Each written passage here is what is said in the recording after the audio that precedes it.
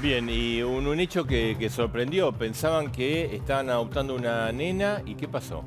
En realidad, Marce, eh, sí, pensaron que estaban adoptando una nena y en realidad era una adulta. Eh, abandonaron a esta mujer con enanismo. Eh, se trata de una pareja que en los últimos días fue detenida.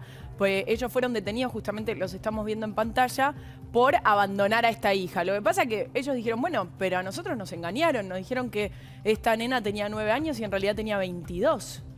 22 años. La madre se dio cuenta en un contexto en el cual la, estaba bañando y empezó a notar que, que, la chica, digamos, ya estaba desarrollada. Entonces ahí se dio cuenta que en realidad no era una nena, sino que era una adulta. Y no solo eso, varias veces, parece una película de terror, ¿eh? no es chiste, esto pasó en Estados Unidos, eh, varias veces trató de matarlos. Eh, esto es, una pareja que también tiene dos hijos biológicos. En varias oportunidades la encontraron a, esta mujer, porque no es una nena, a esta mujer, intentando matarlos. Así que tuvieron que esconder los cuchillos que tenían en la casa, todos los objetos punzantes, porque cada tanto la encontraban a la nena, a la mujer, perdón, parada al lado de la cama, sin dormir y con algún objeto punzante en la mano. Y en otras oportunidades la encontraron también tratando de envenenarlos, de ponerle veneno en el café. El aspecto es de nena, ¿no? Parece una nena, sí, pero no lo es.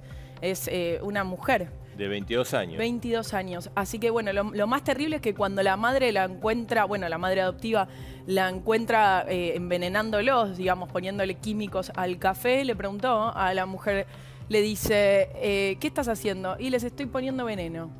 O sea, lisa y llanamente. Eh, la chica, bueno, además tenía algunos eh, problemas psicológicos. Así que, bueno, finalmente esto queda en manos de la justicia porque igual la pareja fue detenida por abandonarla. Seguro.